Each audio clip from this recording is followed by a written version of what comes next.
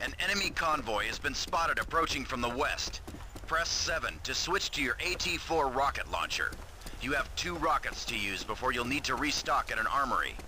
Try to destroy the lead vehicle and slow the convoy. Armored vehicles take more than one hit to destroy, so aim carefully.